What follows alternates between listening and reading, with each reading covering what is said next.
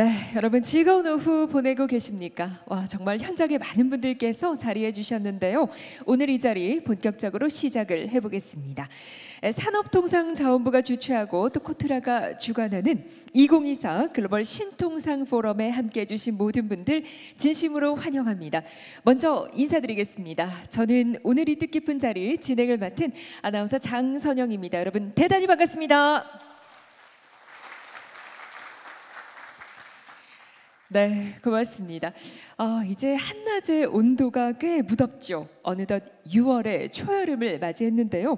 아, 시간이 참 빠르구나 새삼 느끼게 됩니다. 어, 비단 이 계절의 변화뿐만이 아니라 우리 글로벌 통상 환경과 트렌드 역시 빠르게 바뀌어 가고 있는데요. 아, 그런 의미에서 오늘 포럼 두 가지 주제의 세션으로 준비를 해봤습니다.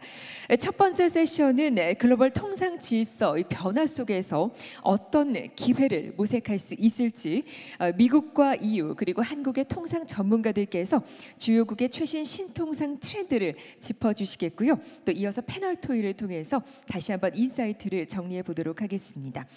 아울러 두 번째 세션은 이 업계에 조금 더 실질적인 방안들을 제시할 수 있을 것 같은데요.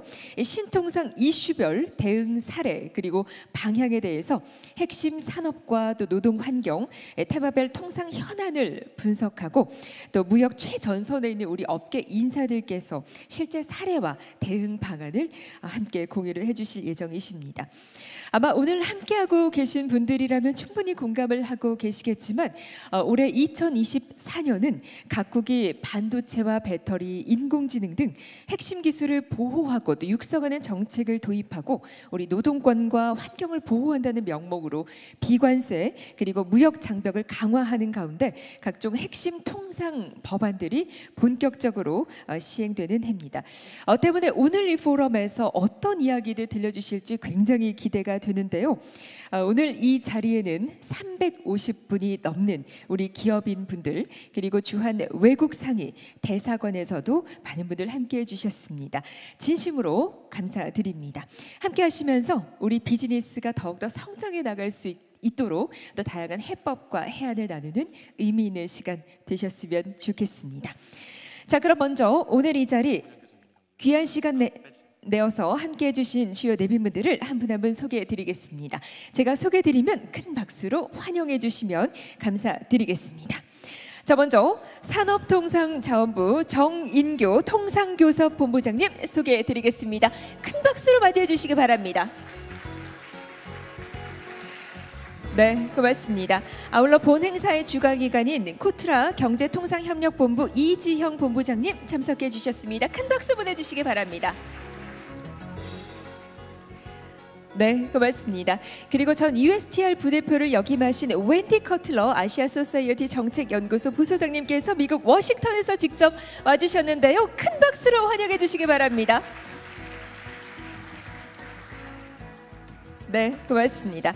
아, 그리고 마리오, 마리아 카스티오 페르난데즈 주한 EU 대사님께서 오늘 패널 토론자로 함께 해 주셨습니다. 따뜻한 박수 보내주시고요.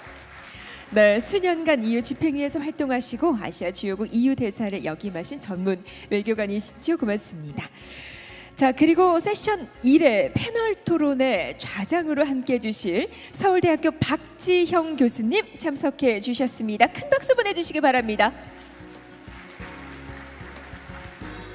네, 고맙습니다. 아, 그리고 세션 1회 패널 토론자로 산업통상자원부 심진수 신통상 전략지원관님 자리해 주셨습니다. 박수로 환영해 주시죠. 네, 고맙습니다. 산업연구원 김동수 본부장님 역시 소개드리겠습니다. 큰 박수 보내주시기 바랍니다. 네, 두 번째 세션에 발표를 맡아주실 분들이시죠. 국립외교원 이효영 교수님 참석해 주셨습니다. 큰 박수 보내주시고요. 네, 고맙습니다. 대외경제정책연구원 이천기 신통상 전략팀장님 자리해 주셨습니다. 큰 박수 보내주시죠. 네, 고맙습니다. 자 그리고 역시 두 번째 세션의 패널 토론 좌장으로 함께해 주실 동국대학교 남은영 조교수님 함께해 주셨습니다. 따뜻한 박수 보내주시기 바랍니다. 네, 고맙습니다. 아, 뿐만 아니라 주한 외교 사절단 등 오늘 이 자리 정말 많은 분들께서 자리를 해주셨는데요. 한 분 한 분 모시고 인사 나눠야 하지만 어, 저희가 원활한 진행 관계상 그러지 못하는 점 양해 말씀드리면서 다시 한번 오늘 함께해 주신 모든 분들께 진심으로 감사 인사 드리겠습니다. 고맙습니다. 자, 그럼 저희는 이어서 인사 말씀으로 문을 열어보도록 하겠습니다. 아, 오늘 인사 말씀은 산업통상자원부 정인교 통상교섭 본부장님께서 함께 해 주시겠습니다. 저희 단상위에 마련된 자리로 모셔보도록 하겠습니다. 자, 오늘 이 자리를 위해서 정말 많은 또 수고를 해 주셨는데요. 따뜻한 박수와 함께 저희는 단상 위로 모셔보도록 하겠습니다. 큰 박수로 맞이해 주시기 바랍니다.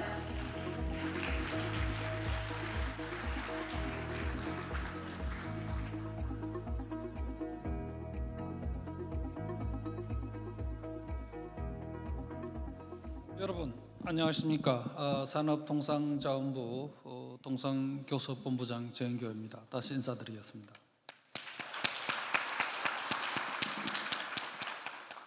어, 오늘 어, 신통상 포럼을 준비해 주신 어, 코트라 어, 이재영 이사님 및 관계자분께 에, 깊은 노고의 말씀을 드립니다. 그리고 오늘 발제와 토론을 맡아 주신 어, 웬디 커틀러 아시아 소사이어티 정책연구소 부소장님, 어, 마리아 카스티오 페르난데즈 주한 EU 대사님 등 학계, 영국의 전문가 분들과 이 자리에 참석하신 많은 기업인 분들께 감사의 말씀을 전합니다. 잘 아시다시피 최근 중동 전쟁, 미중 기술 패권 경쟁 등 지정학적 리스크와 자국 우선주의 확산으로 글로벌 통상 환경은 매우 엄중한 상황입니다. 급변하는 글로벌 통상 환경 변화 속에서 신통상 질서와 규범의 흐름을 읽고 기민하게 대처, 대처하는 것이 경쟁력의 중요한 요소가 되고 있음을 여러분들도 잘 아실 것입니다. 오늘 어, 글로벌 신통상 포럼 자리를 빌어서 어, 우리 통상 당국이 추진하고 있는 통상 정책 몇 가지를 간단하게 설명드리고자 합니다. 먼저 신통상 질서 구축에 우리나라는 선제적으로 참여하고 우리 기업 보호를 위해 적극 대응하고 있습니다. 최근 미, EU 등 주요국들은 기후, 환경, 디지털 등의 분야에서 새로운 통상 질서를 구축해 나가고 있습니다. 그간 정부는 EU의 탄소 국경 조정 제도 CBAM이라고 하죠 등 신통상 규범에 적극 대응하여 우리 철강 기업 등 기업의 제도 이행 부담을 완화하였습니다. 또한 인태 경제 프레임워크 IPF 출범 초기부터 적극적으로 참여하여 새로운 경제 통상 질서 형성을 적극 어, 참여해 오고 있습니다.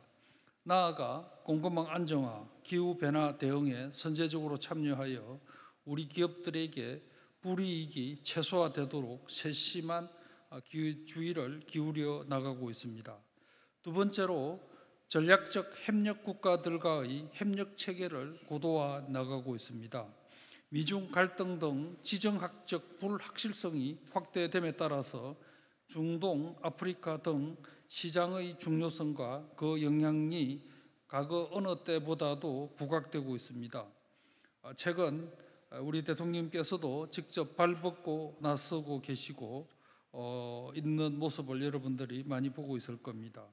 UAE 대통령이 국빈으로 방문하셨고 어, 지난주, 지지난주죠. 지난주, 지지난주에 걸쳐서 한 아프리카 정상회의가 있었고 어, 이번 주에는 중앙아시아 국가들을 어, 방문하고 계십니다. 어, 우리 통상당국도 지난 5월 29일에 UAE와 세파 협정에 서명하였고 향후에도 무역 투자 프레임워크와 더불어서 기존 FTA 공급망 등 신통상 협력 요소가 가미된 경제 동반자 협정을 확대해 나가고 있습니다. 마지막으로 첨단 산업의 글로벌 허브 국가로 도약할 수 있도록 어, 지원을 확대해 나가고 있습니다. 정부는 올해 에, 첨단 전략 산업과 공급망 핵심 업종의 국내 복귀 활성화를 위한 어, 유턴 투자 보조금 예산과 지원 한도를 대폭 확대하였습니다. 또한 첨단 산업 핵심 기업 투자 유치 확대를 위해 현금 지원 예산을 어, 대폭 정액한 바 있습니다. 앞으로 글로벌 투자 인력의 어, 유치를 위해서 어, 관련 규제 해소 등 뿐만 아니라 어, 외국인 투자 환경을 어, 적극적으로 개선해서 국내에서 첨단 산업이 발전할 수 있도록 어, 여건을 개선해 나가도록 하겠습니다. 여러분, 미국의 제 16대 대통령 에이브림 링컨은 위기는 기회의 또 다른 얼굴이다라고 하였습니다. 여기 계신 여러분들이 어려운 상황에서 새로운 가능성을 발견하고 이를 활용할 수 있도록 어, 여러분들의 목소리에 최대한 귀 기울여 실효성 있는 정책을 발굴하는데 최선을 다하도록 하겠습니다. 모쪼록 오늘 포럼이 전문가들의 활발한 의견 개진과 심도 깊은 토론으로 뜻깊은 행사가 되기를 기원합니다. 아울러 오늘 참여하는 모든 기업인 분들이 원하시는 해답을 찾아가실 수 있도록 바라며 어, 여러분들의 사업이 더욱더 번창하기를 기원합니다. 감사합니다. 네, 여러분 다시 한번 따뜻한 박수 보내주시기 바랍니다. 본부장님께서는 다음 순서를 위해서 잠시만 단상 위에서 기다려 주시기 바랍니다. 자, 저희가 오늘 이 자리 함께하면서 또 사진 촬영으로 본격적인 논의의 장을 열어보도록 하겠습니다. 아, 제가 안내드리는 분들께서는 단상 위로 자리해 주시죠. 이효영 교수님 자리해 주시고요. 또 남은영 조 교수님 자리해 주시고요. 네, 안내 따라서 등단해 주시기 바랍니다. 자 그리고 김동수 산업통상연구본부장님 네 단상 위로 자리해 주시고요. 그리고 역시 마리아 카스티오 페르난데스 대사님 please come up to the stage 네 단상 위로 모시겠습니다. please thank you 네 그리고 이지영 코트라 경제통상협력 본부장님 네 자리해 주시고요. 아, 정인교 본부장님께서는 함께하고 계시고요. 그리고 웬디 커틀러 부소장님 네, please come up to the stage. Could you please come up to the stage? Thank you. 네, 그리고 서울대학교 박지영 교수님 자리해 주시죠. 네, 안내에 따라서 등단해 주시고요. 네, 산업통상자원부 심진수 신통상 전략지원관님 네, 이어서 자리해 주시고요. 그리고 마지막으로 이천기 신통상 전략팀장님 네, 안내에 따라서 등단해 주시기 바랍니다. 네, 앞서서 위기는 기회의 또 다른 이름이다라고 또 인사 말씀 전해주셨는데요. 든든한 마음이 또 드는 것 같습니다. 자, 새로운 기회를 찾아갈 수 있는 시간입니다. 오늘 사진 촬영하면서 이 화이팅 넘치는 에너지를 사진 한 장으로 담아보도록 하죠. 앞쪽 카메라 잠시 봐주시고요. 먼저 활짝 웃는 미소 부탁을 드리겠습니다. Please look at the camera and three, two, one, smile please. Once again, 네, 한 번 더 촬영을 하도록 하겠습니다. 오늘 같은 자리에 저희가 화이팅 넘치는 에너지가 빠질 수가 없겠죠. So please uh, raise your right hand. 네, 오른쪽 손을 들어주시고요. 저희는 화이팅을 한번 외쳐 보도록 하겠습니다. 모두 함께 해주시면 더욱 더 좋은 시간이 될 것 같습니다. 자, 하나, 둘, 셋. 박수 한번 보내주시죠. Thank you very much for your cooperation. 네, 고맙습니다. 자, 이제 앉아 계셨던 자리로 하단에서 앉아 주시면 되겠습니다. Could you please take your seats? Thank you very much for your cooperation. 네, 고맙습니다. 아, 이렇게 또 함께 논의하고 또 함께 이야기를 나눌 수 있는 시간이 있어서 참 다행이다라는 생각도 드는데요. 앞서 인사 말씀에서도 말씀을 해주셨지만 오늘 이 자리는 우리 글로벌 통상을 위해서 다양한 해법과 해안을 나눠가는 시간입니다. 함께 하시면서 의미 있는 한 걸음 되셨으면 좋겠습니다. 자, 그럼 지금부터 2024 글로벌 신통상 포럼 본격적인 논의의 장을 열어보도록 하겠습니다. 먼저 기조 연설로 시작해 보도록 하죠. 아, 일부 첫 순서로 아시아 소사이어티 정책 연구소 웬디 커틀러 부소장께서 함께 해 주시겠는데요. 아마 잘 알고 계시겠지만 미국 무역 대표부 USTR에서 수십 년간 글로벌 통상을 다루신 통상 분야의 권위자이십니다. 어, 2008년 한미 FTA 협상 당시에 미국 대표로 참석을 하셨기에 우리 대한민국의 산업에 대해서 누구보다 잘 이해하고 계신 분이기도 한데요. 어, 오늘은 세계 무역의 새로운 지평선 기회와 도전 과제라는 주제로 insight 전해 주시겠습니다. 어, 오늘 포럼만을 위해서 또 한국을 방문해 주셨다고 하니까요. 저희는 감사의 마음을 가득 담아서 뜨거운 박수로 환영을 부탁을 드리겠습니다. 자, 그럼 단 상으로 부소장님을 소개해 드리겠습니다. 큰 박수 보내 주시기 바랍니다. Could you please come up the stage? Thank you.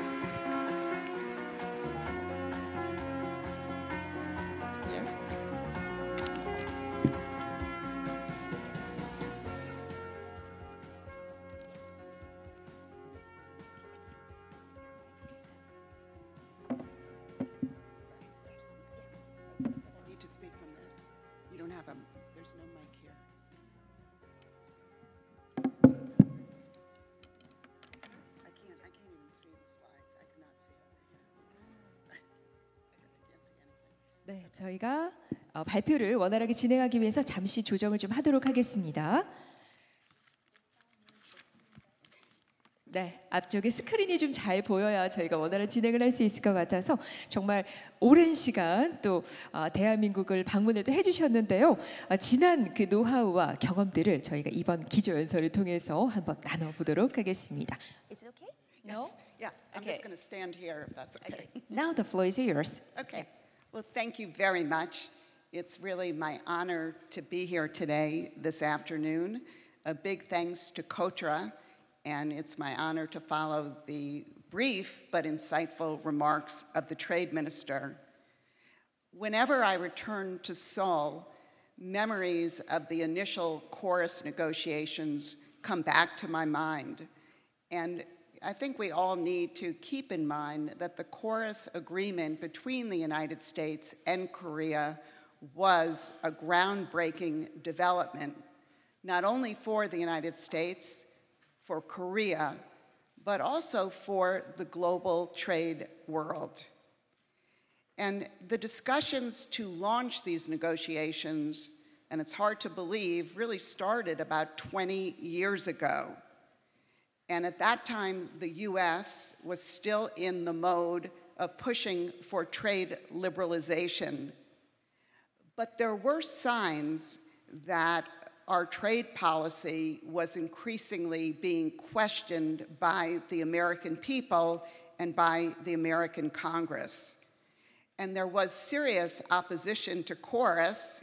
A lot of people here, you focused on the opposition in Korea to the agreement, but there was also serious opposition in the United States to the agreement, particularly from our labor unions, workers, and key manufacturing sectors.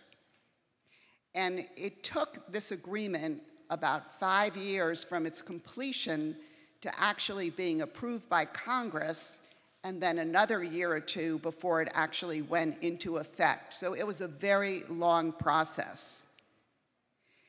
This, the, the, the initial discussions also happened at a time when things, other things were changing in the global trade world. China started to, started to retreat from its reform and opening agenda and launched indigenous innovation policies. And the Doha round that was launched by the, um, in Geneva by the WTO was under stress and ultimately failed. And when you fast forward 15 or 20 years to today, we can see that global trade is in a very difficult place. We're facing big challenges, and long held assumptions on efficiency, peace, prosperity, non discrimination are all being questioned. So during my remarks today, I plan to describe some of the challenges that are facing the global trading system, explain why, in my view, the World Trade Organization is not up to addressing to these challenges, elaborate on policies that countries are following outside of the World Trade Organization to deal with these challenges, touch upon new opportunities created by these challenges, and then offer my views on where we are headed, which I believe is we're headed to a new era on trade. And I'm going to do this all in the next 20 minutes or so.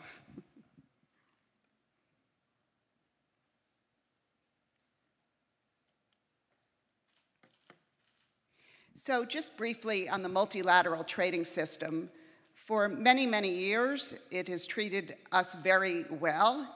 It has contributed to global prosperity and stability. It has lifted hundreds of millions of people out of poverty. It has grown global trade. It has contributed to the growth in global GDP. It has contributed to global stability and peace with the idea behind it that if countries were integrated economically, they were less likely to engage in conflict. And it also survived because it was able to be agile and flexible and develop new rules as new challenges um, came to the global stage.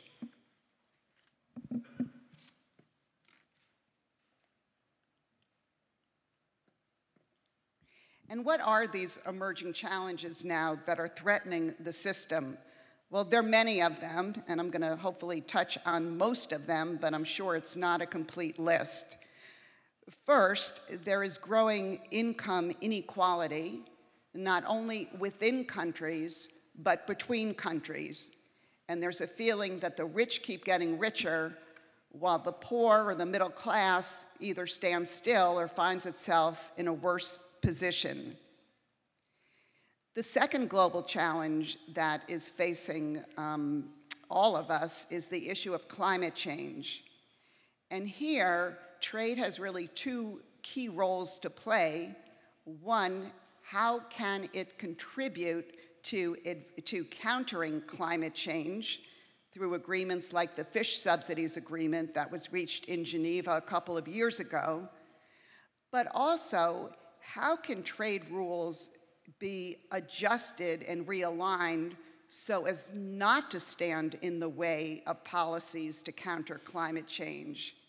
Um, we've seen in, in the United States and elsewhere competing policy objectives where on one hand you want to counter climate change, on the other hand you want to make sure that unfair trade practices are addressed. Third, there have been many challenges on the health front, particularly our experience with the COVID pandemic.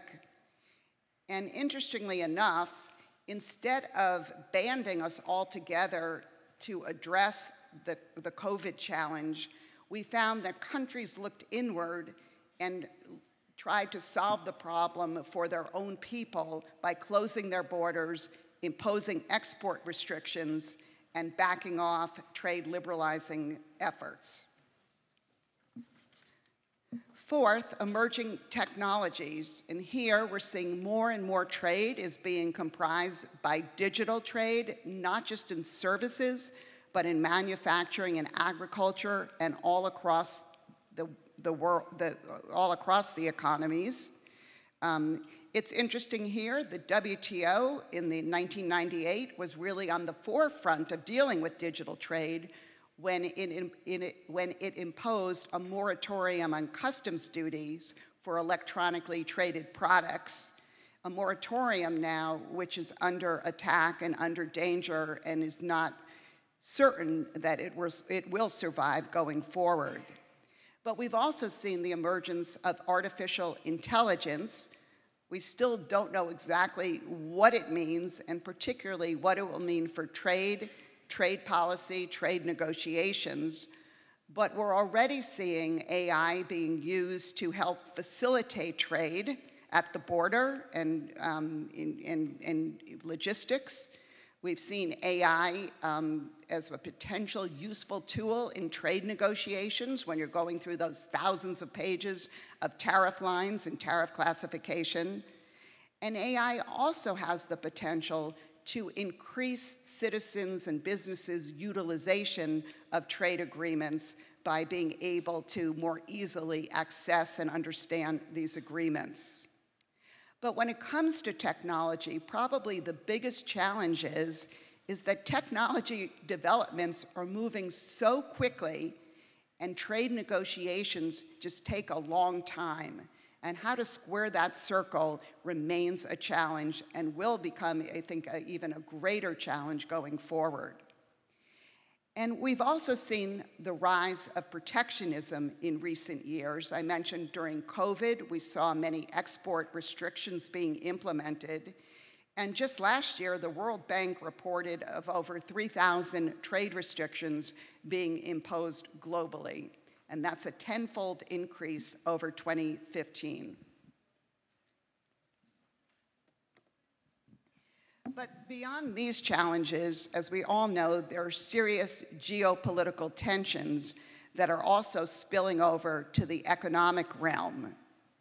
The impact of global conflicts around the world, for example, have resulted in higher prices and, in, and shortages of food and energy, and has also created bottlenecks and other um, struggles at different ports around the world. Second, it has, or people claim, it's leading to the fragmentation of the global trade system where different blocks are being created and trade is being increasingly conducted between like-minded countries. There is some evidence of this, um, but some people also say that this is overblown. We've also seen shifting supply chains as companies look to reduce their vulnerabilities, to mitigate risk, and to, to create redundancy.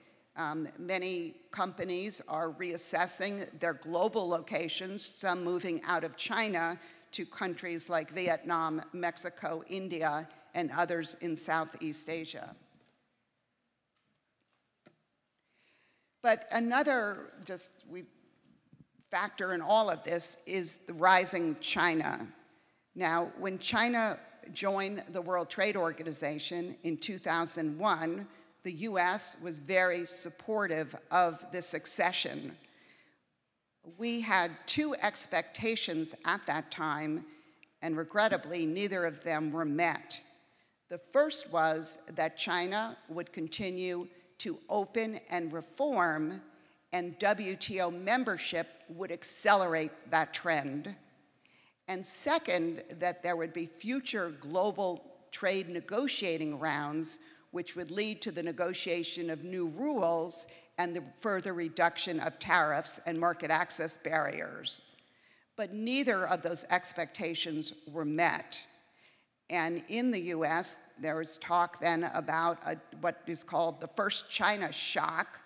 Um, this is a term that was coined by David Autor, who, based on his research between 1997 and 2011, um, said that the result of China joining the World Trade Organization and joining the global economy resulted in the loss of 2 million US jobs.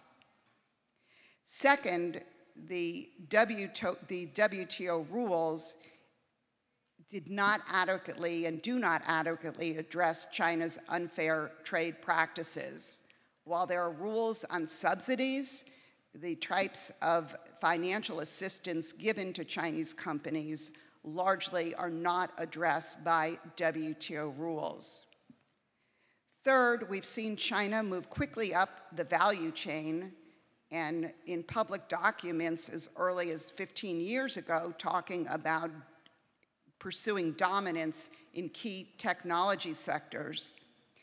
And fourth, I think the world was kind of unprepared for the scale of China and the size of the Chinese economy, which meant that when China went global and started trading more and more in the world, it had a disproportionate impact on global trends and global prices, and impacted many companies in other countries that were unable to compete.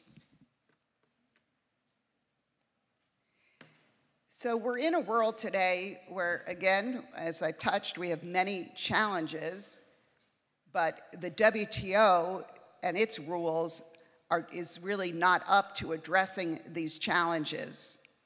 There are negotiating challenges, um, and this is largely the result of having an organization with 100, 166 members now that have very different views different levels of development, different equities, um, and trying to bring all those countries together to agree on um, a trade pact is extremely difficult. Second, the dispute settlement function is virtually paralyzed now. Um, this is being blamed on the United States, but in conversations in Geneva, I think it has become evident that other countries have well, as well have serious concerns about the functioning of the dispute settlement system. And third, there are serious governance challenges, one being the consensus principle that all members can, need to agree or at least not to block an agreement.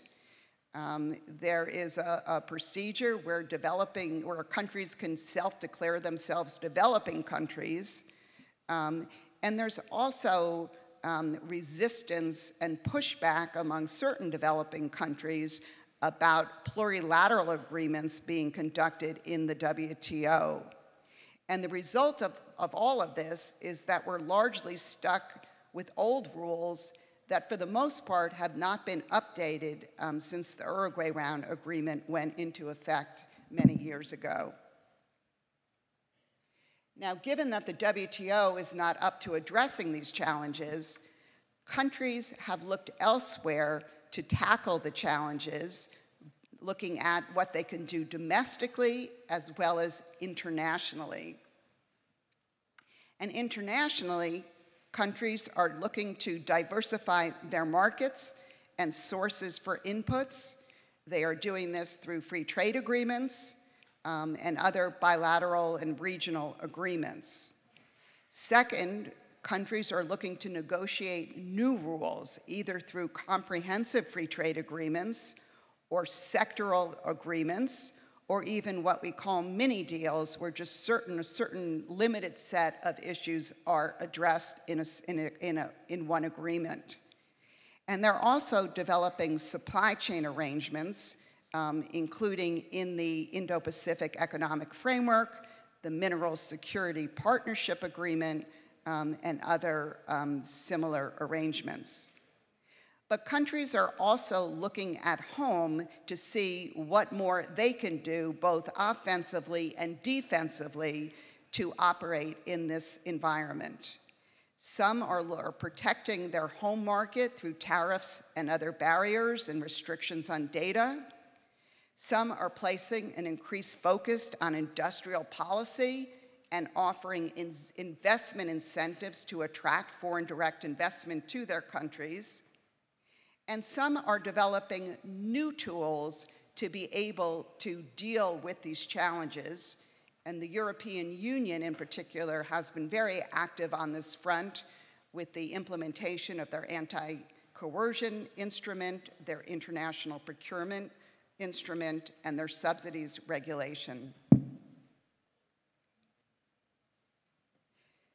So those are the challenges, but I think it's also very important to talk about where are the opportunities.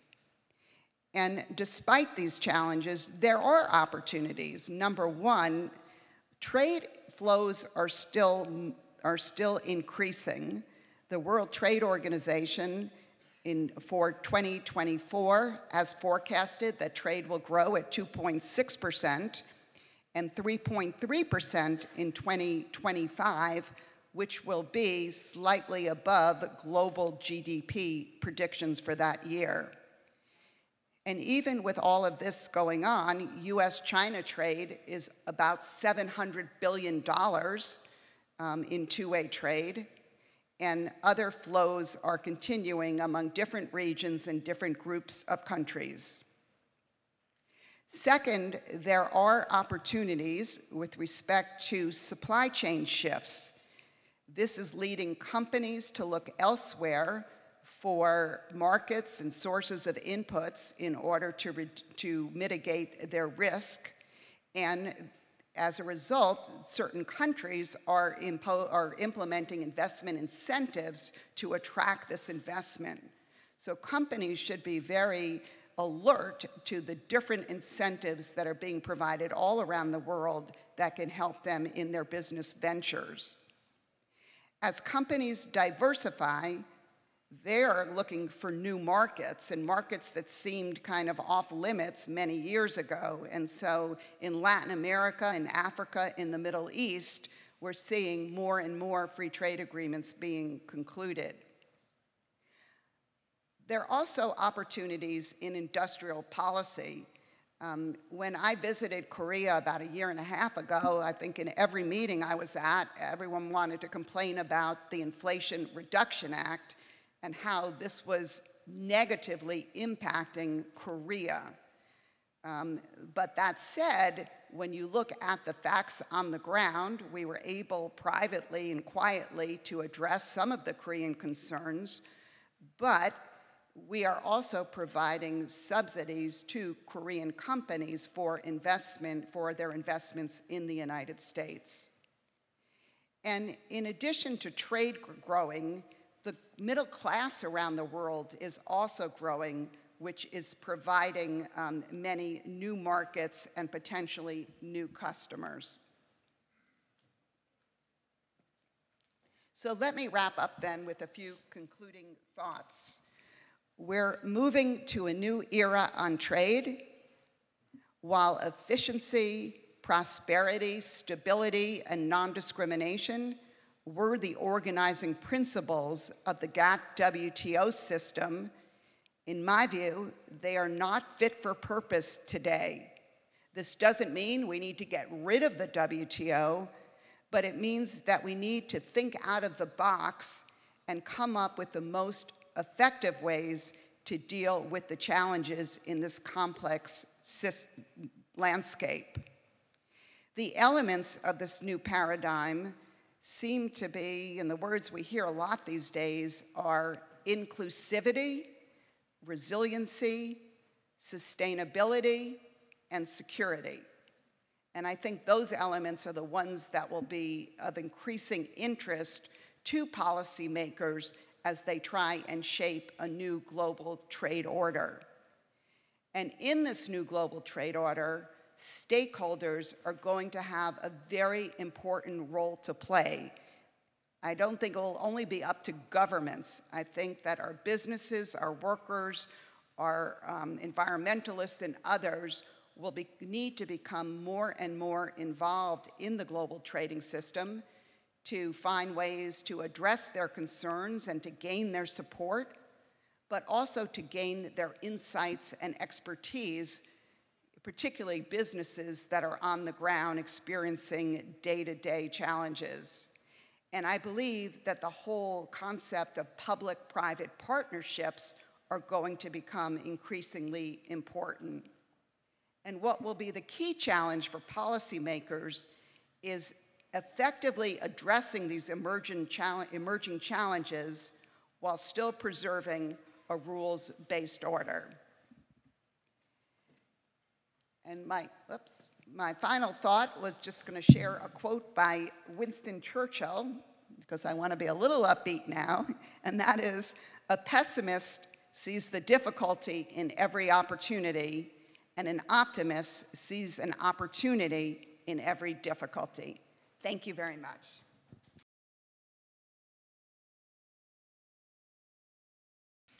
네, 여러분 다시 한번 큰 박수 보내주시기 바랍니다. Thank you very much for your insightful presentation. Thank you so much.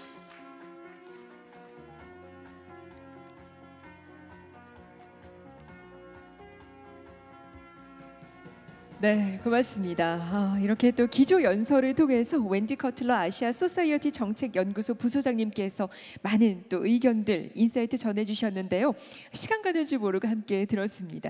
글로벌 무역과 관련해서 어떤 트렌드 그리고 이슈가 있는지 하나하나 짚어 주셨죠. 뿐만 아니라 우리 앞에 당면한 과제들은 어떤 것들이 있는지도 짚어 주셨는데요. 앞으로 우리가 구체적으로 어떤 노력들을 해야 할지 아마 고민이 깊으셨을 것 같습니다. 어, 이번 기조 연설을 통해서 보다 구체적이고 선명한 그림을 그릴 수 있었던 시간이었길 진심으로 바랍니다. 아마 오늘 함께 해주신 분들께 소중한 insight 되셨을 것 같습니다. 자 이렇게 기조 연설을 토대로 지금부터는 패널 토의를 통해서 조금 더 다양하고 심도 있는 이야기들 나눠보도록 하죠. 어, 저희가 패널 토의를 잠시 준비하는 동안에 몇 가지 안내 말씀드립니다. 어, 앞서 말씀을 드렸던 것처럼 현재 로비에서 컨설팅관을 운영 중에 있습니다. 수출과 FTA 활용 또 공급망 관리뿐만 아니라 EU CBAM 공급망 실사 지침 등 관련해서 상담 받으실 수 있으니까요. 기회 놓치지 마시고 적극적으로 활용해 보시고요.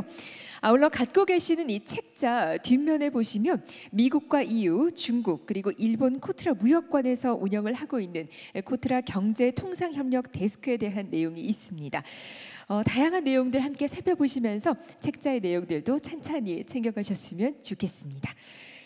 자, 앞서 기조 연설에서도 언급을 해 주셨지만 변화하고 있는 글로벌 패러다임 속에서 자, 그렇다면 우리 비즈니스는 어떤 기회를 찾아갈 수 있을까요?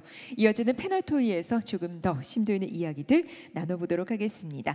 자, 함께 해주실 여섯 분을 단상 위로 모셔보도록 하겠습니다. 박지영 교수님 먼저 자리를 해주시고요. 네, 그리고 이지영 본부장님 네, 단상 위로 모시겠습니다. 아, 웬티 커틀러 부소장님 다시 한번 단상으로 모시겠습니다. Please.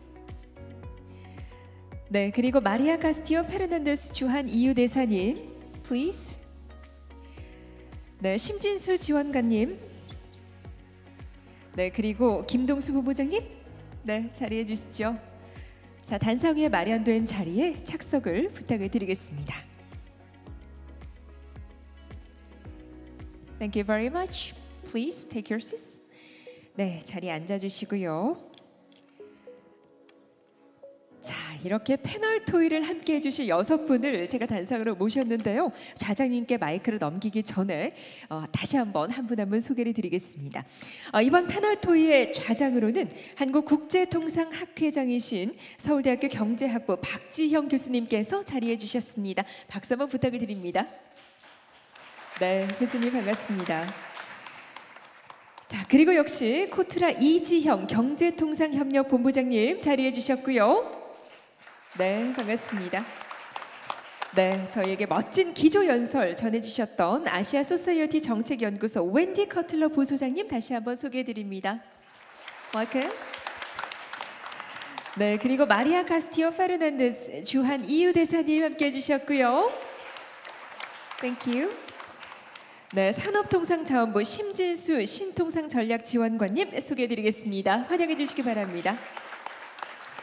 네, 그리고 산업연구원 김동수 산업통상연구본부장님 자리해 주셨습니다.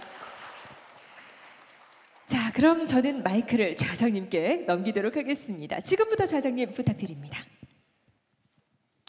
어, 잘 들리시나요? 그 이렇게 그 중요한 어, 자리에 이렇게 많은 분들이 와주셔서 굉장히 뭐 어, 인상적이고요. 저희 어, 패널 토론하시는 분들 말씀 속에서 여러분들 앞으로 어, 하시려고 하는 일들에 뭐 큰 도움이 될 수 있도록 하여튼 제가 열심히 많은 분들의 이제 그 insight를 끌어내기 위해서 노력해 보겠습니다.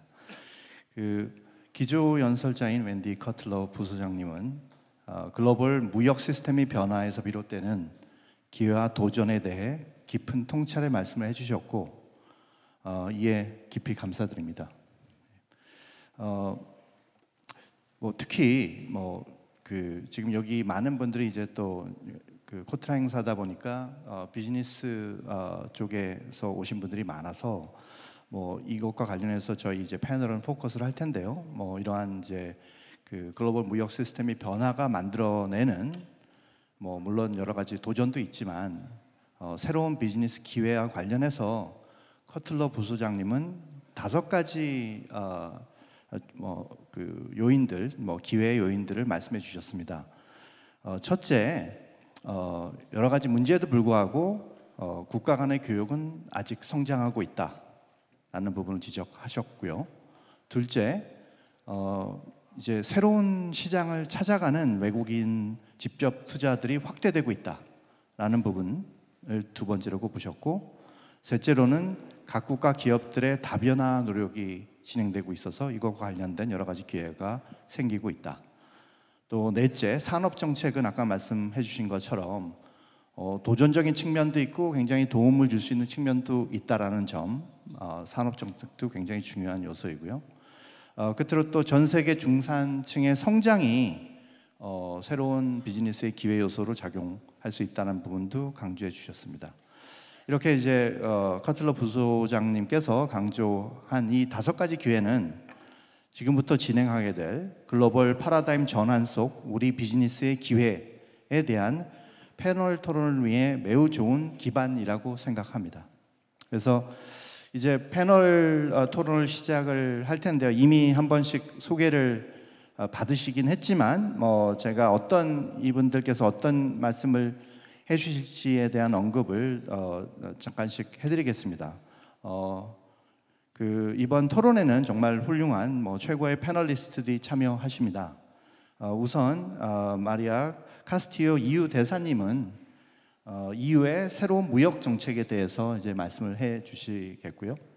어, 두 번째로 어, 산업통상자원부 심진수 신통산 전략 지원관님은 한국 정부의 신통상 아, 정책 의제에 대해서 말씀해 주시겠습니다. 그리고 세 번째로 산업연구원 김동수 무역연구본부장님은 한국 산업계가 당면한 도전 과제에 대해서 말씀해 주시고 마지막으로 코트라의 이지영 어, 경제통상협력본부장님은 본 세션에서 논의된 모든 비즈니스 기회를 포착하고 도전을 극복할 수 있도록 지원하는 코트라의 글로벌 비즈니스 지원 시스템에 대해서 소개해 주실 것입니다.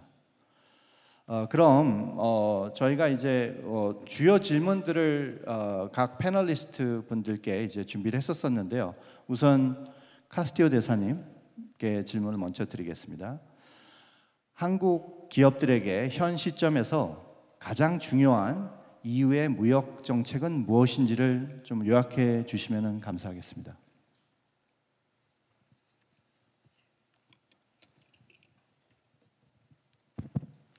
Thank you so much, uh, Professor Park, and uh, a very good afternoon uh, to all of you. And it's an honor to be here with uh, such an audience and also so so many experts. Uh, I am a humble diplomat, so uh, hope that what I can and tell you makes a bit of sense to you.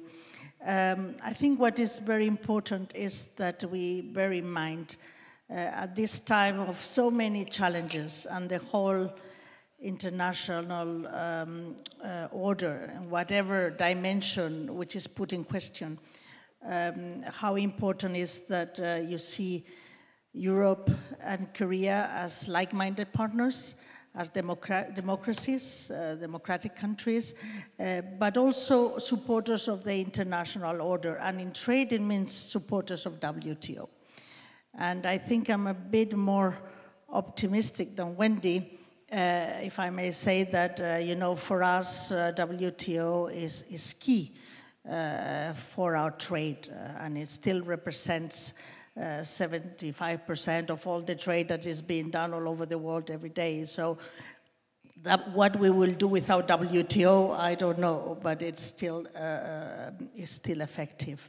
Um, also very important, the EU-Korea uh, Free Trade Agreement. Um, I was also here in Seoul in 2005 when we started the launch the negotiations of the EU-Korea FTA. I remember the big demonstrations of Korean against uh, the American beef, and uh, we were telling our team, well, well, you know, the Americans are going to sign this, so we have to to, to do it quickly. So then uh, at the end, I think we passed you and we managed, even if it was a long negotiation, to have it adopted and implemented in, in 2011. And it has been, uh, you know, the, the, the, the, backbone, the heart of our trade and investment relations. Uh, trade has uh, now uh, gone up to 130 billion um, uh, euros, and this is more or less the same trade Europe has with Japan, being Japan a bigger economy than, than, uh, than Korea.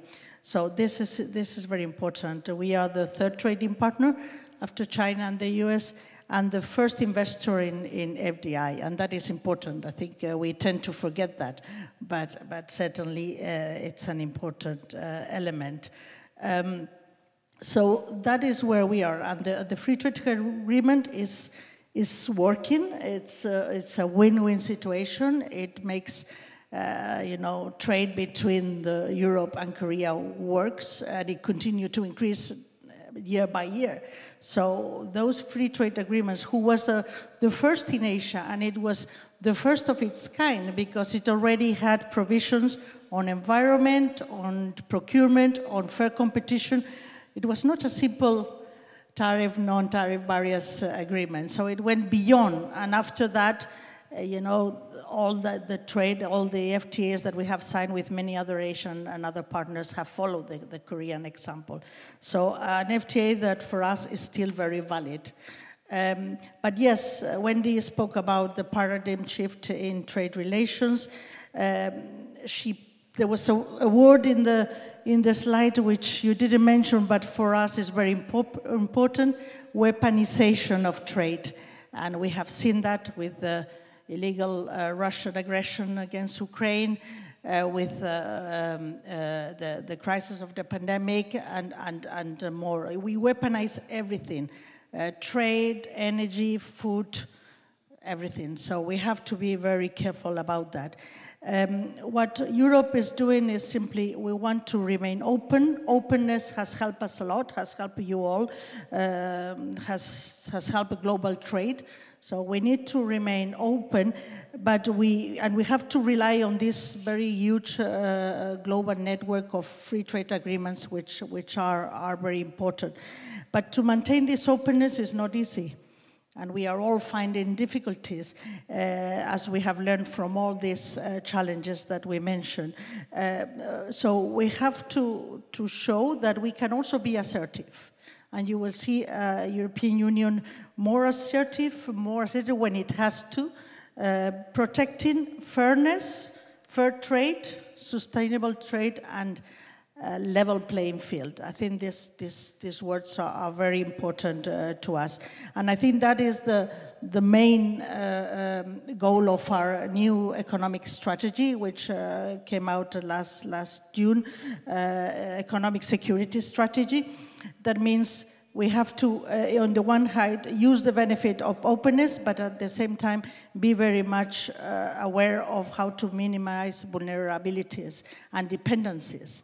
Uh, and this is, this is important. Promote, on the one side, um, EU's capacity, EU in, EU's industrial base. You mentioned Wendy, everyone is trying to, to, to do that, uh, us as well. On the other side, protect. Protect us through uh, coercion, through uh, excessive dependencies, through weaponization of trade. Uh, you mentioned our key three new instruments, uh, foreign direct investor screening, the subsidized um, regulation, and the anti-coercion. But there are more that could come because we are exploring uh, others, uh, other possibilities, uh, and, and, we are looking to see if they are necessary. But on the other side, investment and trade is, is increasing, so friendshoring becomes very important, diversification of supply chains. Um, this is about de-risking, uh, uh, which is for us uh, very important. All in all, you mentioned trade has lifted from poverty, poverty mm, and has, has played an enormous role. It continues to do, create jobs and growth, but we have to try to maintain open trade, fair trade, and sustainability uh, in, in, in the trade field. So for us, very important. So new challenges, certainly digitalization. Uh, you want me to reply to that as well, Professor Park, or? or yeah, do I reply you also on, on the question or, or no? Less yes. actually. So that's Okay, that uh, was my main Okay. main point. Thank you. Uh, thanks a lot for your uh, like uh, 어, 실례합니다. 제가 지금 한국말로 해야 되는데 그 어, 카스티오 대사님 어, EU 정책과 무역 정책과 관련한 뭐 굉장히 뭐 중요한 말씀을 해주신 것 같습니다. 그 일단 EU와 한국의 이제 교역이 어, 지속적으로 성장을 해왔고 특히 이제 EU하고의 FTA 이후에도 뭐 성장을 해서 지금 사실 심지어 일본보다 저희보다 경제 규모, 경제 규모가 큰 일본보다도 한국과의 교역이 EU에게 더 중요한 위치를 차지하게 됐다는 부분도 말씀해 주셨고 어, 지금 EU가 갖고 있는 고민은 꼭 EU만의 고민은 아니겠지만 그 이런 오픈니스를 뭐 FTA 네트워크를 통해서 또 유지하고 자 하는 부분도 존- 존재하고 또 동시에 어떤 economic security가 중요해진 상황이기 때문에 이런 부분들도 같이 이제 고려하는 정책들을 펴가는데 그 관련해서 사실 처음에 말씀하실 때 한국이 EU 입장에서 볼 때 또 한국도 아마 EU를 볼 때 like-minded country에 속한다는 점이 이런 부분에 있어서 협력을 더 강화해 나갈 수 있는 부분이 아닌가 생각이 들고요. 끝으로 사실 이제 이제 패널 토론에 의해서 재밌는 건데 어, WTO에 대해서 좀그 그 커틀러 부서장님과는 살짝 좀 다른 입장을 이유는 갖고 있다 라는 이제 말씀을 해주신 게 이제 추후에 조금 더 여기에 대해서는 논의해 볼 수 있을 것 같습니다. 어, 어, 두 번째 어, 질문은 우리 그 산업통상자원부의 심진수 국장님께 이제 드릴 텐데요. 현재와 같이 매우 도전적인 글로벌 비즈니스 환경에서 한국 기업들이 사실 어려운 부분도 이제 그 많을 텐데 한국 기업이 그럼에도 불구하고 성공하기 위해 한국 정부가 정부가 신통상 정책 분야에서 무엇을 하고 있는지 또 계획 중인 것이 있다면 어떤 것인지 좀 설명해 주시겠습니까? 예, 예, 반갑습니다. 어, 이렇게 많은 분들 앞에서 패널 토론자로 참석하게 돼서 아주 기쁘고요. 의미 있는 행사 불러주셔서 감사합니다. 어, 웬디 커틀러 부소장님께서 어, 전반적으로 왜 그 현재 통상의 변화, 그 다음에 신통상 규범이 대두하는 배경에 대해서 잘 설명을 해 주신 것 같고요.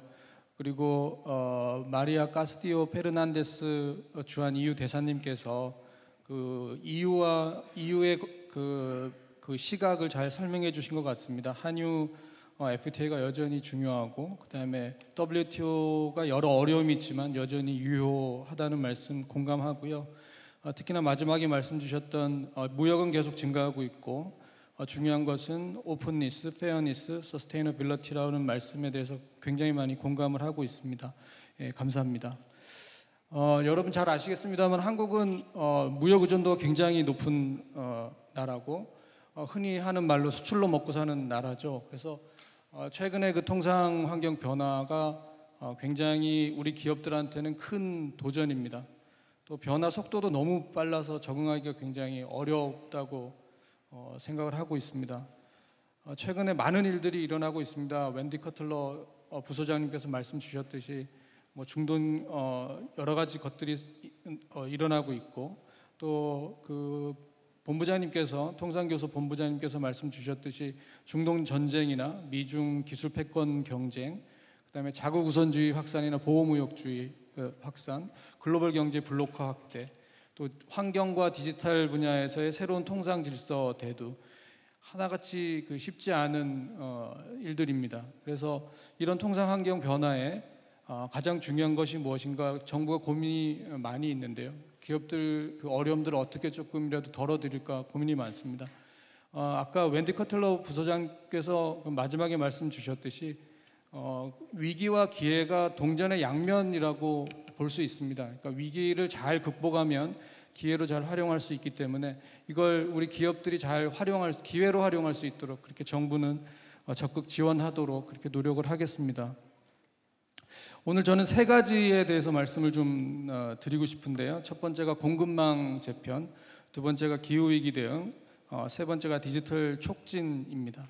그 첫 번째 공급망 글로벌 공급망 관련해서는 어, 잘 아시고 계시겠습니다만 어, 공급망이 지금 재편되고 있는 상황이고 그 재편되는 과정에서 우리 기업에 미치는 피해는 최소화하고 또 가급적이면 그 공급망이 재편되는 기회를 우리 기업들이 비즈니스 어, 기- 어, 아퍼튜니티로 잘 창출할 수 있도록 정부가 이렇게 어, 대응해 나가고 있다는 말씀을 좀 드리고 싶고요.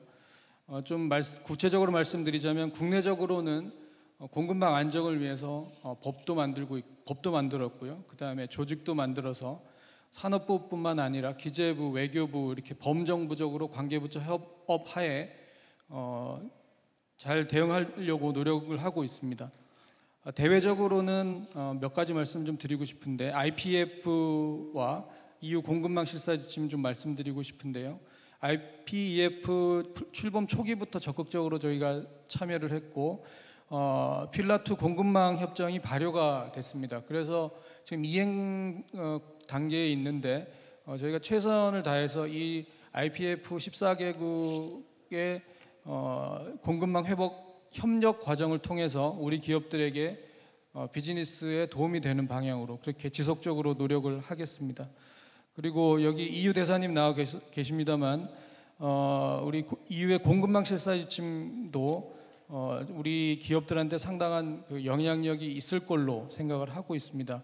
이 동 지침이 인권 환경 관련 어, 실사 의무를 지고 있는 대기업에게 어, 어, 저- 문제가 될 수 있습니다만은 이 대기업의 공급망에 있는 중소기업들에게도 간접적인 영향을 주기 때문에 어, 굉장히 잘 대응을 해 나가야 된다고 생각합니다. 27년부터 어, 실제로 이행이 되기 때문에 시간이 많지 않기 때문에 어, 범정부적으로 그 다음에 어, 관계부처 범정부적으로 그 다음에 우리 기업들이 잘 대응하실 수 있도록 그렇게 좀 어, 우리 기업들이 현재 진행하고 계신 ESG 경영을 확대하고 확산하고 공급망 실사 대응력을 갖출 수 있도록 그렇게 지원하도록 하겠습니다. 두 번째로 우리 청정 경제 전환 노력에 대한 말씀을 좀 드리고 싶은데요. 잘 알고 계시겠습니다만 국제 경제 질서가 탄소 중립이라는 축으로 급격히 그 재편되고 있습니다. 어, EU가 CBAM 어, Carbon Border Adjustment Mechanism 이걸 만들고 만들었죠. 지금 그뭐 어, 발효 어, 시- 실제 시행되는 거는 26년부터인데요. 이것도 어, 무역 규범으로 어, 되고 있기 때문에 잘 대응을 해야 된다고 어, 보고 있고요. 어, 그간의 정부가 EU와 협상을 통해서 어, CBAM의 법과 하위 규정 제정 과정에서 우리 기업의 어, 제도 이행의 부담을 좀 완화하도록 노력을 했고 어, EU도 굉장히 협조적으로 어, 잘 어, 저희가 협력하고 있다고 이렇게 말씀드릴 수가 있습니다. 그 다음에 글로벌 기업들도 협력사에게 어, 재생에너지 어, 이용을 의무화하는 리뉴어블 에너지 100%이 아리백을 어, 강요를 하고 있습니다. 그래서 우리 기업들이 이런 제도 부담, 제도 이행의 부담을 좀 완화하도록 어, 장기적으로 우리 기업들의 어, 청정, 청정 경제 어, 역량을 어, 탄소 배출 측정이나 저감 역량을 향상하는 것을 지원하도록 그렇게 하고 있습니다. 그 다음에 또 하나 좀 설명을 좀 드리고 싶은 건 이 청정 경제 관련해서 우리 정부가 좀 노력하고 있는 제도를 하나 설명드리고 싶은데요. 어, Carbon Free 어, Energy입니다. 어, 재생 에너지만으로 기후 위기에 대응하기에는 한계가 있다고 저희는 어, 생각을 하고 있습니다.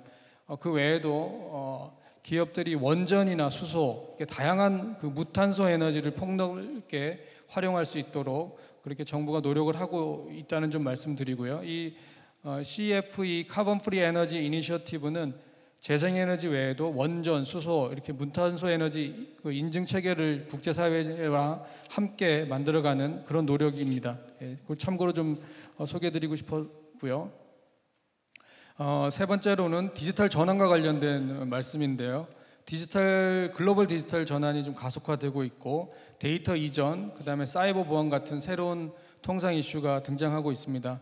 어, 그래서 정부는 어, Digital Economy Partnership Agreement, 이 DEPA라고 보통 부르는데 여기에 가입을 했고요. EU와 디지털 통상 협정을 추진하고 있고 IPEF의 디지털 경제 분과 협상에도 참여를 어, 하고 있습니다. 그러니까 미국, EU 등 주요국과 디지털 통상 규범을 정립하는 데 노력을 좀 해 나가겠습니다. 이런 디지털 통상 어, 네트워크 확대를 통해서 우리 디지털 기업들의 해외 비즈니스 기회를 확대하도록 그렇게 좀 노력하겠습니다. 그리고 하나 그 참고적으로 더 말씀드리면 어, 저희가 어, FTA 외에도 어, 무역 투자 프레임워크, Tra, Trade and Investment Promotion Framework 그리고 어, EPA, Economic Partnership Agreement 같이 이렇게 좀 보다 촘촘한 통상 네트워크를 구축해 나가려고 노력하고 있습니다.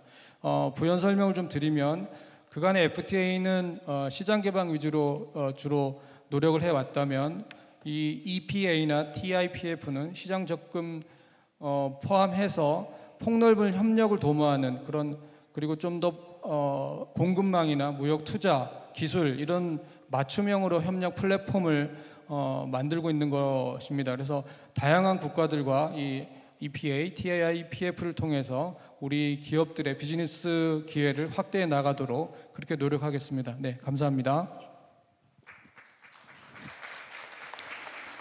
예, 그 심국장님 어, 발표 감사드립니다. 그 지금 심국장님 말씀하신 것처럼 한국 정부는 이제 공급망 재편 그리고 청정 에너지 전환 또 어, 디지털 전환과 관련해서 국제적인 어떤 새로운 질서가 만들어지는 데 있어서 적극적으로 이제 대응을 해오고 있다는 부분을 좀 확인할 수 있었었고요. 어, 끝에 이제 말씀을 언급해 주신 뭐 어, TIPF라든지 EPA 같은 이제 새로운 어떤 그, 어, 그 통상 협력 어떤 어, 방식을 또 추구하고 있는 분도 말씀해 주셨는데 그, 그 기조연설에서 어, 그 커틀러 어, 부소장님께서 말씀하신 앞으로의 어떤 질서는 기업과 정부가 같이 이렇게 협력해서 만들어 가야 되는 부분이 훨씬 더 커졌다라는 이제 말씀해 주셨는데 이제 지금 말씀해 주신 TIPF라든지 EPA라든지 특히 TIPF 같은 경우에 그런 성격이 더 어, 클것 같고요. 어, 이제 어떻게 보면 한국은 이 민간과 어, 정부가 서로 커뮤니케이트하고 그 과정 속에서 좀 바른 어, 또 그 국가 경제에 도움이 되는 어떤 방향으로 이런 걸 만들어가는데 상당한 노하우를 갖고 있는 국가라고 저는 생각을 하고 어, 이런 부분에 대해서 이제 기업인 분들도 적극적으로 이제 참여를 하셔서 이런 새로운 질서를 잘 만들어 가는데 이제 같이 힘을 합했으면 하는 생각입니다. 그 다음 아, 질문은 어, 산업연구원의 김동수 본부장님께 드릴 어, 질문인데요. 어, 사실 오랫동안 산업연구원에서 많은 연구를 해오셨는데 산업과 무역 측면에서 한국 기업이 지금 이 변화하는 그 국제 통상 질서 속에서 직면한 가장 큰 도전은 무엇이라고 생각하시는지 좀 말씀해 주시면 감사하겠습니다. 어, 네, 산업연구원의 김동수입니다. 오늘 이 신통상 포럼에 참여하게 돼서 개인적으로는 큰 영광이라고 생각합니다. 어, 앞서서 기조 말씀도 잘 들었고 어, 두 분의 토론도 잘 들었습니다. 어, 내용이 아마 계속 반복이 되는 것 같기는 합니다만 조금 더 어, 제가 바라보는 시각에서 다시 한번 rephrase를 해보도록 해보겠습니다.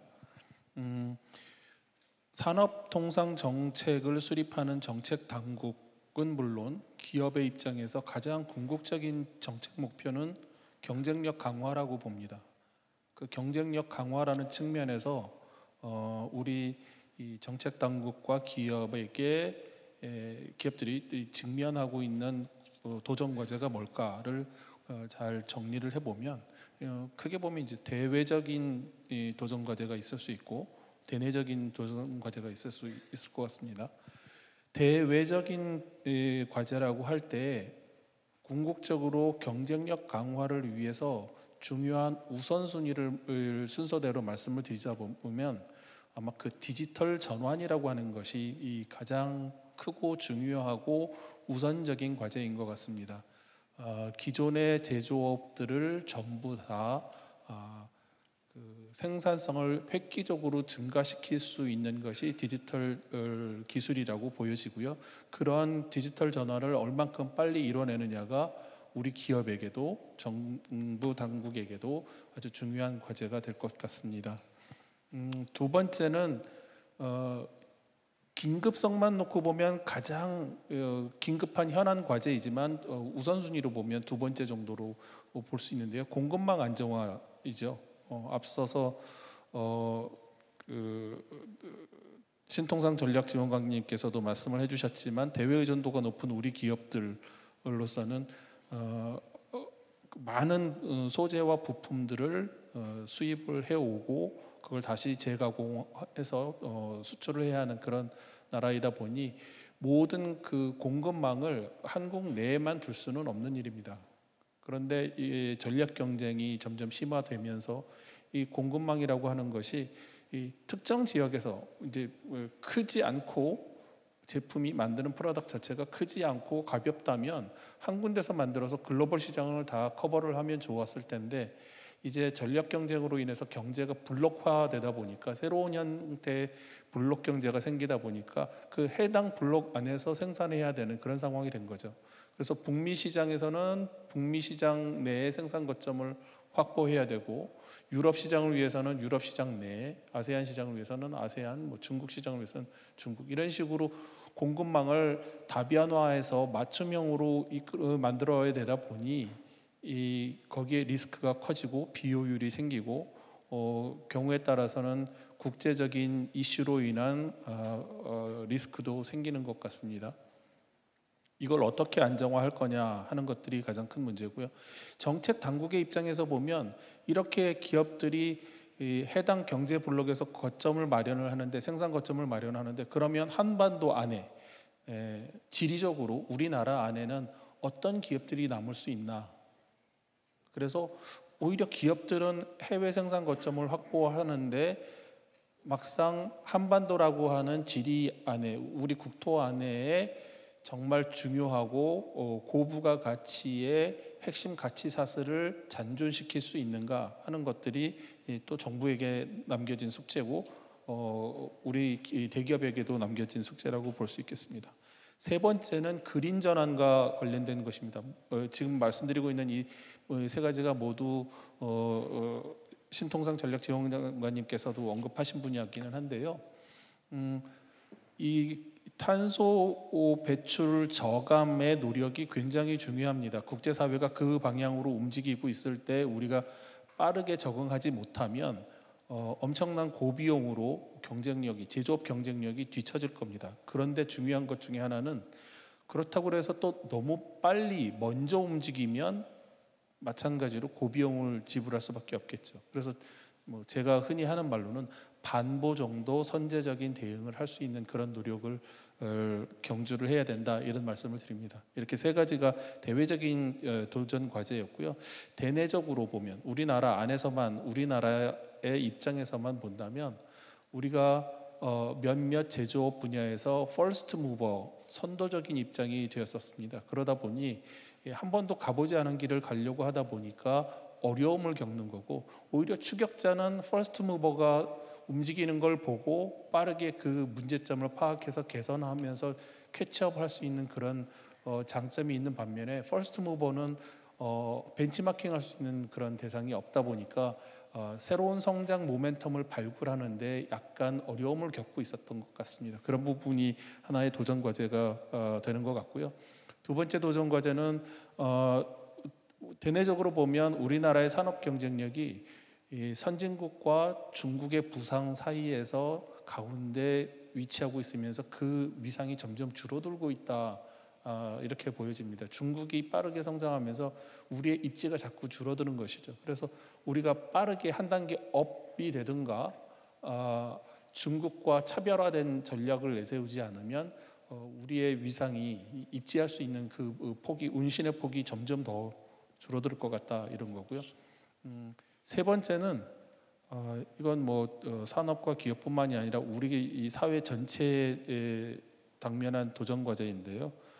고령화와 저출산. 어, 제가 태어나던 해에는 100만 명 정도가 어, 신생아가 태어났었는데요. 작년에는 어, 뭐 27만, 28만 뭐 이런 정도인 것 같습니다. 이렇게 빠르게 에, 인구 구조가 변화하고 있는 이 상황에서 우리는 고부가 가치 산업으로 자꾸 빠르게 전환을 해야 된다라는 그런 도전 과제가 있다고 보여집니다. 여기까지 하겠습니다. 네. 네, 김동수 본부장님 감사합니다. 그 어, 말씀하셨지만 심 국장님이 말씀하신 부분하고 조금 겹치는 부분도 있었지만 그만큼 그 주제들 좀 이따 잠깐 말씀드리겠지만 주제들이 중요한 주제인 것 같고요. 특히 그김 아, 김 본부장님은 이 기업 입장에서 경쟁력 강화라는 어떤 화두를 들고서 이 문제를 봤을 때 이게 어떤 식으로 접근해야 되느냐라는 맥락에서 어, 같은 주제지만 뭐 디지털 전환, 공급망 안정화 그리고 그린 전환들이 다 기업들 입장에서 이걸 또 어떻게 접근해야 되느냐를 좀 강조해서 잘 말씀해 주신 것 같습니다. 그리고 대내적인 이슈도 우리 경제가 지금 일부 사실 first mover라고 얘기할 수 있는 기업들이 존재하는데 이것도 어려운 부분이 또 있다라는 것도 우리 경제 전반적으로는 이제 선진국과 중국 사이에 이제 끼어 있는 어떤 그런 부분들에 있어서 또 어떻게 나가야 될까 이 부분에 대한 이제 고민이 있는 거고 모든 분들이 잘 아시겠지만 한국의 어떤 고령화 저출산 문제도 사실 앞으로 크게 이제 극복해야 되는 대내적인 문제이다라는 말씀을 잘 해주셨습니다. 어, 일단 패널리스트 중에서는 이제 끝으로 말씀을 해주시겠지만 또 어떻게 보면은 여기 참여하신 기업들 입장에서는 가장 또 따끈따끈한 말씀을 해주실 수 있는 분으로 생각이 되는데요. 어, 코트라의 그 이정 통상 어, 경제통상협력 본부장께 여쭈겠습니다. 어, 코트라에서는 어, 129개 해외 무역관 네트워크를 보유하고 있어서 가장 현장 일선에서 해외 시장의 동향을 모니터링하고 있다고 들었습니다. 그런 맥락에서 어, 글로벌 시장에서 요즘 가장 중요하다라고 생각하시는 사안이 무엇인지 좀 질문드리고 싶습니다.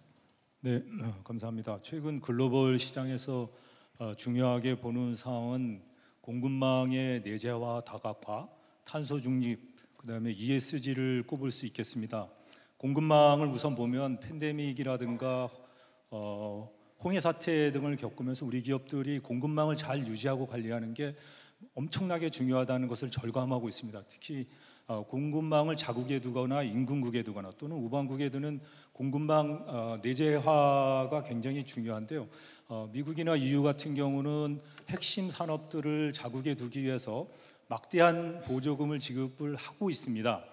그래서 390억 달러의 보조금을 투입하는 미국의 CHIPS Act 반도체법 같은 게 이제 대표적인 사례가 되겠는데요. 일본도 이에 못지않게 TSMC를 구마모토 현에 두기 위해서 막대한 보조금을 지급하고 있습니다. 이러한 것에 따라서 이제 멕시코가 북미의 어, 니어쇼링의 핵심 기지로 떠오르면서 우리나라를 비롯한 뭐 중국 기타 제조업체들의 투자가 몰려들고 있습니다. 그래서 지난해에는 361억 달러의 투자를 거행하면서 사상 최대의 투자 유치를 한 바도 있습니다. 그래서 어, 과거에는 중국이 미국의 어, 최대 수입 대상국이었습니다만 지난해부터는 순, 순위가 역전돼서 멕시코가 미국의 최대 순위 최대 수입 대상국이 되었습니다. 그리고 한편으로 이제 공급망 다각화를 볼 수 있는데요. 어, 공급 자국의 공급망을 타국에 지나치게 의존하는 건 리스크가 크기 때문에 공급망을 적정한 선에서 관리하기 위한 공급망 다각화도 굉장히 중요합니다. 그래서 미국의 IRA법이라든가 어, EU의 핵심 원자재법에서는 이러한 조항을 둬서 공급망이 특정국에 지나치게 의존되지 않도록 하고 있고요. 어, 미국과 이제 그 EU의 차이점을 좀 말씀을 드리면 미국은 특정국을 명시적으로 검명을 하면서 견제를 하고 동맹국과의 연대를 강조하고 있지만 EU에서는 특정 국가에 대한 조항을 두지 않고 어, 환경이나 인권에 대한 법제화를 통해서 이런 것을 관리하고 있다는 것을 둘 수 있습니다. 두 번째 이제 탄소 중립을 말씀드리겠는데요. 탄소 중립은 각국 정부가 온실가스 감축 노력이라든가 신에너지 정책 등으로 글로벌 시장에 앞으로 나아가는 방향이 아닐까 생각됩니다. 그래서 그 말씀들을 많이 해주신 이후에 탄소 국경 조정제된 시밤이 이제 도입되면서 어, 철강업체 등에서는 어, 제조 공정을 업그레이드하거나 또 기술을 수정해야 되는 그런 난관에 부딪히고 있습니다. 그다음에 그 외에도 뭐 플라스틱 플라스틱 규제라든가 eco labeling 또 폐배터리 법 등 기업에 부담을 주는 여러 가지 제도들이 많이 도입되고 있습니다. 그러나 이 탄소 저감 정책 등으로 나오는 어, 신에너지 신에너지 프로젝트가 있는데 이 부분은 이제 우리 기업들이 어, 좀 주의 깊게 봐야 될 부, 분입니다 그래서 인도 같은 경우는 지금 어, 세계 최대의 투자 제조업 기지로 부상하고 있는데요. 그러다 보니 전력 수요가 많습니다. 전력 수요를 감당하기 위해서 어, 풍력이나 태양광 등의 신, 신에너지 정책을 도입하고 있는데 이 기업 이 부분도 우리가 주의 있게 봐야 될 부분이고요.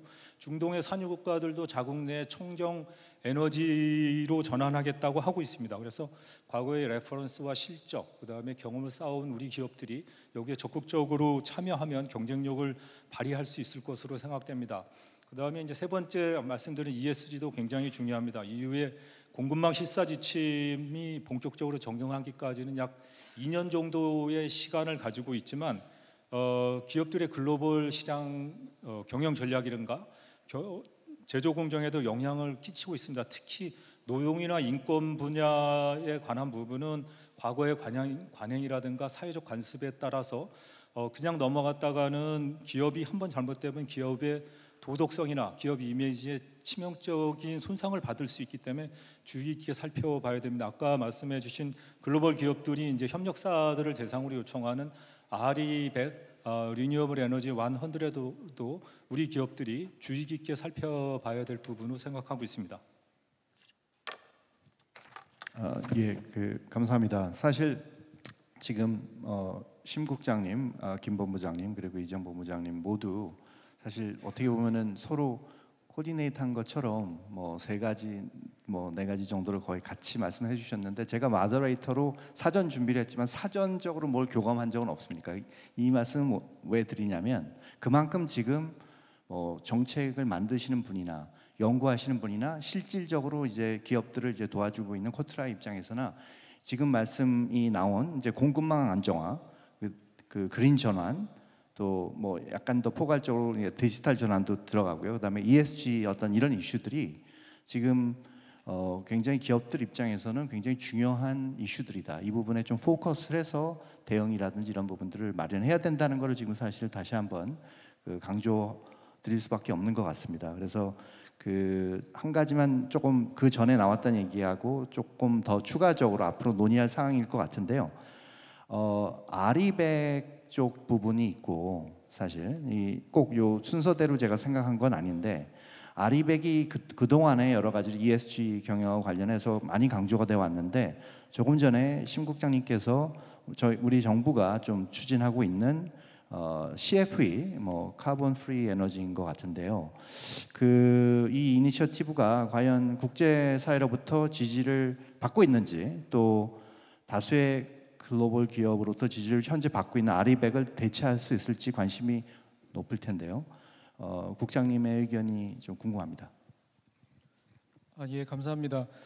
그 개념부터 말씀을 드리면 그 아리백은 어, 리뉴어블 에너지만 전부 다 써야 된다는 개념이고요. 그 태양광, 풍력, 뭐 그 외에 여러 가지 재생에너지들만 써야지 인정이 되는 개념인데 어, Carbon Free Energy는 조금 더 넓은 개념입니다. 그러니까 재생에너지만 carbon free인 것은 아니거든요. 그래서 어, 원전도 carbon free입니다. 그 다음에 수소도 carbon free고요. 그 다음에 CCUS라고 약간 뭐 그 어려운 개념일 수는 있습니다만 Carbon Capture Usage and Storage라고 그 탄소를 없애는 그런 기술도 어, carbon free 에너지의 개념으로 포괄이 될 수가 있습니다. 그래서 저희는 기후 변화에 대응하는 기후 위기를 막기 위해서 대응하는 것은 오히려 어, RE100보다 CFE가 좀더 어, 포괄적이고 유연한 개념이기 때문에 이걸 폭넓게 인정을 한다면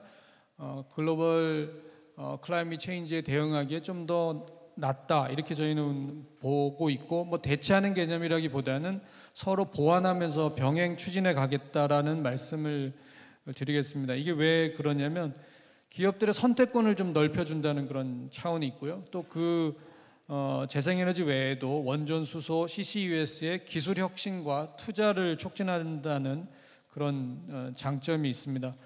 어, 이런 맥락에서 저희 작년에 작년 9월 어, 유엔 총회에서 어, 윤석열 대통령께서 이 CFE 이니셔티브를 국제사회에 제안을 한 바가 있고요.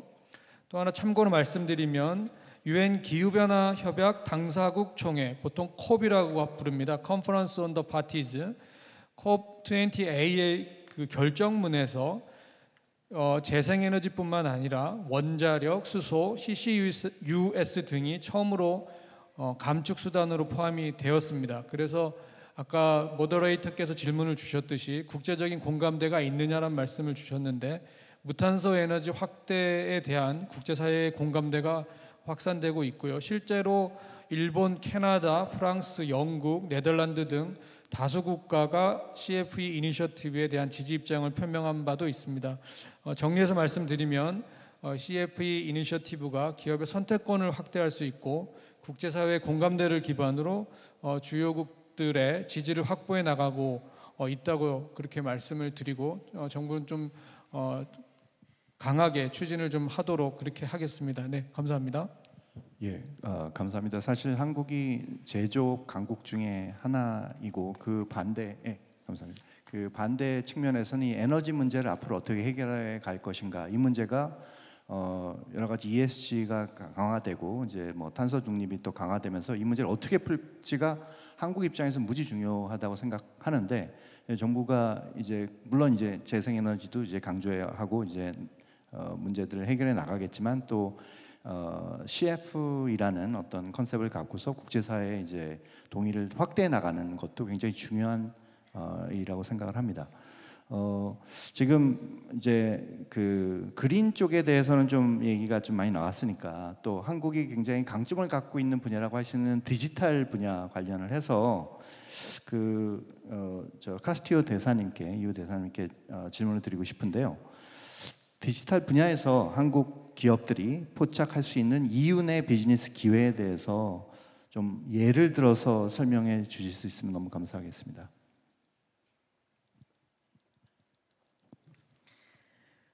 Thank you. I mean, um, digital and climate uh, area areas. Uh, we both have to go through this transition, and it provides a lot of opportunities. I think we need to look at it in a positive way, uh, uh, both of them. We have for the digital domain, um, I think the, the framework is there. We have been negotiated that last year. We have a big digital partnership which, uh, between EU and Korea, which increases collaboration uh, um, between uh, not only companies but research institutes and all stakeholders. Uh, look at artificial intelligence. So we have the European Artificial Intelligence Act, which is a more human-centric uh, uh, first try to regulate the artificial intelligence uh, domain. As Wendy was saying, it goes very quickly and uh, we will also need to be uh, adapt. And I think Korea is also thinking about uh, uh AI law, uh, which we hope uh, could come soon. but we, we put together in this digital partnership startups, companies, technology research institutes, because you need innovation and you need research. So Digital partnership, another element very important is the research collaboration.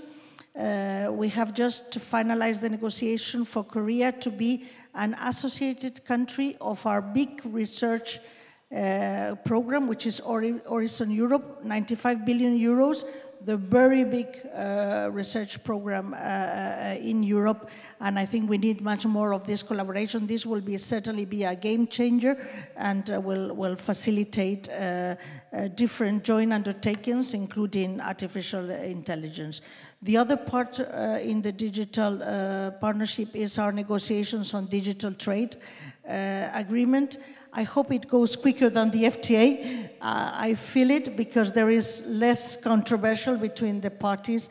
Uh, we, we need to, to set up some norms to regulate that space. So I see that in one year we had advanced quite well and we have finished this also with Singapore. So we hope to, to, to also finalize with Korea. So the framework is there.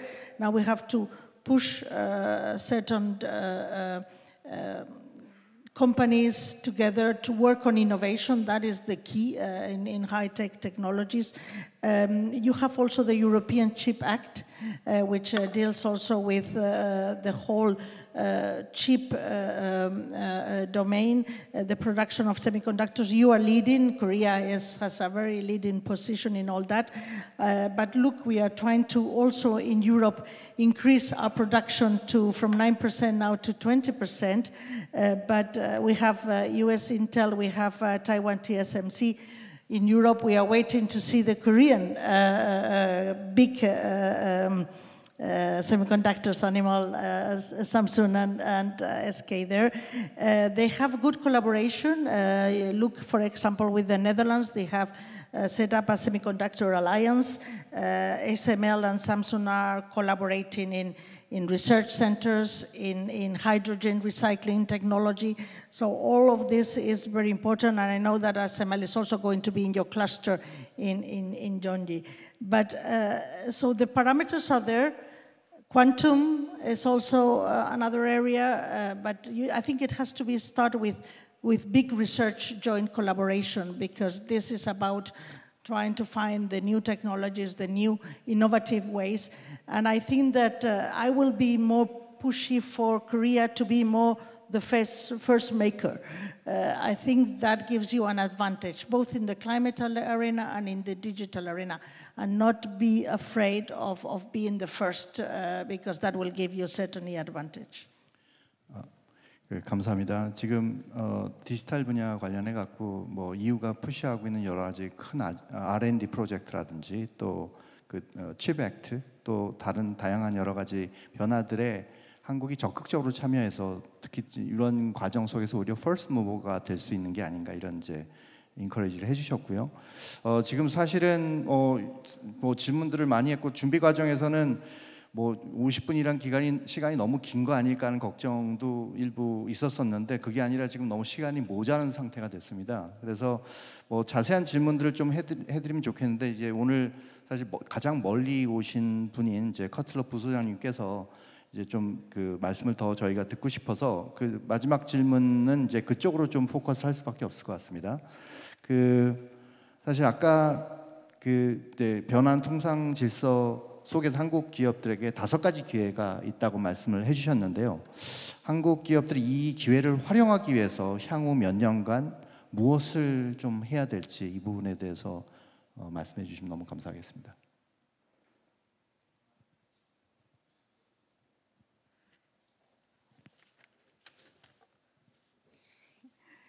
How much time do we have? Look, I think I, am I'm really struck by um, the similarity in comments between everyone on the panel. I think we've identified the similar challenges and have offered some solutions and suggestions. And when I listen to all of this, I think part of me thinks Korean companies really don't need any advice, that they've been doing pretty well, not only in the traditional trade world, but are also emerging as very um, unique and strong competitors in this new trade world. And so, in some ways, I think Korean companies should continue what they're doing, but also I think it's extremely important that companies do not become complacent. And so, it's important to know what's going on, what your competitors are up to, um, put more money into R&D. I would add, really know your supply chains because given all these geopolitical tensions, you may find that you're getting inputs from some country that all of the sun is on the bad side of the ledger. And so it's extremely important to diversify and to build resiliency in your companies. Um, Korea is facing, um, you know, some unique challenges, particularly on the demographic front. But even there, I believe that with the proper use of technology, integrating women more fully into the workforce, and involve, in inviting more immigrants are just some key ways that um, the demographic challenge can be addressed and doesn't need to be kind of a game changer for Korea. So, you know, I'm optimistic, and I would just conclude in saying when I was negotiating the chorus agreement, trade relations between the US and Korea were pretty um, contentious. We did not have a great relationship, and so when we entered into this, into these trade negotiations, there were a lot of people, not only in the United States but all around the world, who were very pessimistic um, about the negotiation. But one thing I always sensed was that my counterparts were optimistic that they wanted this to happen because they recognized that Korea needed to move forward and couldn't rely on um, its, you know, the old economic model. And so um, I think there is an optimism in Korea. Sometimes you don't feel it, um, but um, when we look at this new world trade order and you look at the technologies and the products that Korean companies are particularly competitive in, um, I think that there's a pretty bright future for Korea and Korean companies in this new world trade order.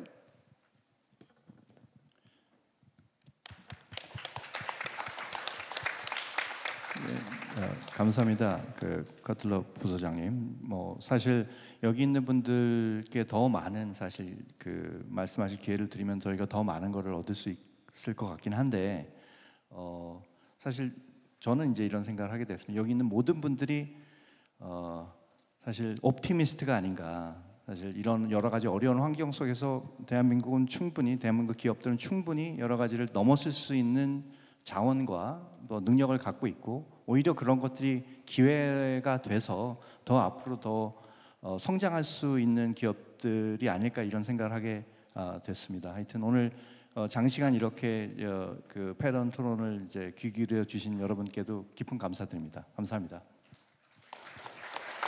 네, 자장으로 함께 해주신 박지원 교수님께도 여러분 다시 한번 큰 박수 보내주시기 바랍니다. 고맙습니다.